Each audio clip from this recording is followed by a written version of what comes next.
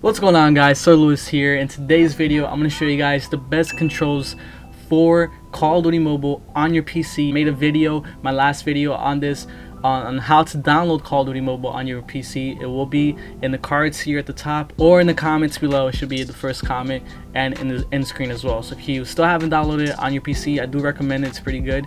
Um, download it and then you guys can see this video on the best controls. Now if you already have it, I'm gonna show you guys the best controls for PC for the best interface possible so you guys can dominate and let's get to it right here. So what you want to do is you want to keep it on advanced mode, okay? And you want to put it as custom leave it as custom all of that hip. And then here you can also do it for uh, BR mode. It'll be the same thing. Now this is where it gets uh, this is where it, the main thing is. So aim assist you can keep that on. Quick you want to put tap and hold to ADS is it gonna have it as this on um, which one? I'm gonna have it on this as de default, which means when you tap, it stays on ADS, and that is really annoying. You want to have it as hold, so you're gonna hold your your right button, your right button to ADS, and then as soon as you let it go, it'll get off of ADS. And here for audio and graphics, you want to put it as maximum. Now, if you don't have the best PC, you could keep it at high or medium, but I have a pretty decent PC, so I keep it at maximum. Um, frame rate, you can put it as maximum as well depth of field you could keep it on which helps a lot especially in uh, battle royale mode.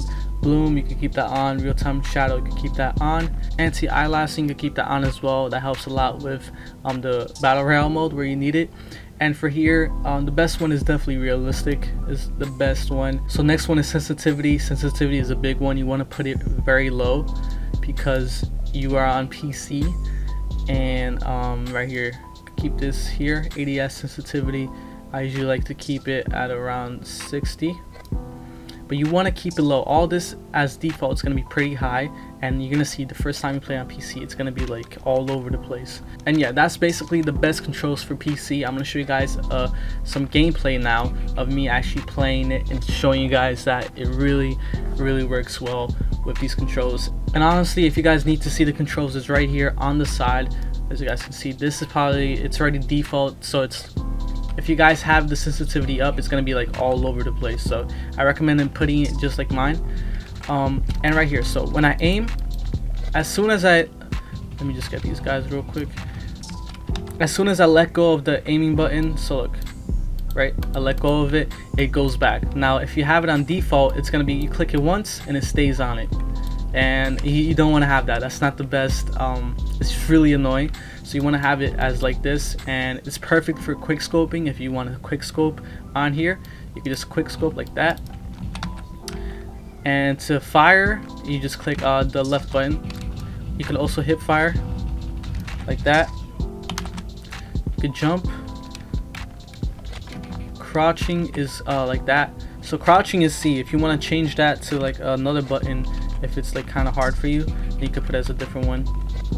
So yeah if you guys want to see more videos about this so if you guys want to see more videos wait so if you guys want to see more videos about this look at the end screen. So if you guys want to see more videos on my channel wait for the end screen look at the cards. So yeah thank you guys. If you want to see more videos on my channel and support it wait for the end screen and there's also more related to this video in uh, the comments below. So if it helped you guys out, leave a comment. If you guys got any questions, leave a comment. I always respond on Twitter as well um, and on Instagram. So thank you guys so much for watching. I love you guys and I'll catch you guys in my next video. Peace.